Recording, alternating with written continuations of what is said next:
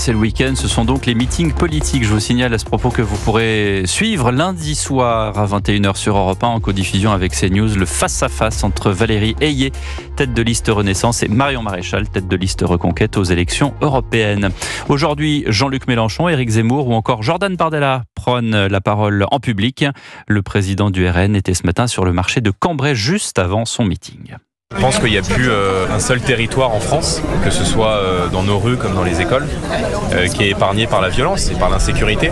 Il y a une barbarie nouvelle aujourd'hui qui touche, notre pays, qui est le fruit d'un cocktail explosif entre une migration non maîtrisée, des tensions communautaristes et évidemment un laxisme judiciaire qui rend de plus en plus d'actes de moins en moins punis par la loi. Je pense que le retour de l'ordre et de l'autorité sur chaque mètre carré du territoire de la République, que ce soit dans la rue, mais aussi dans les institutions de la République comme l'école, est l'une des conditions premières euh, pour le développement économique et l'attractivité de la France. Jordan Bardella qui réagissait donc aux violences scolaires ce matin à Cambrai juste avant son meeting.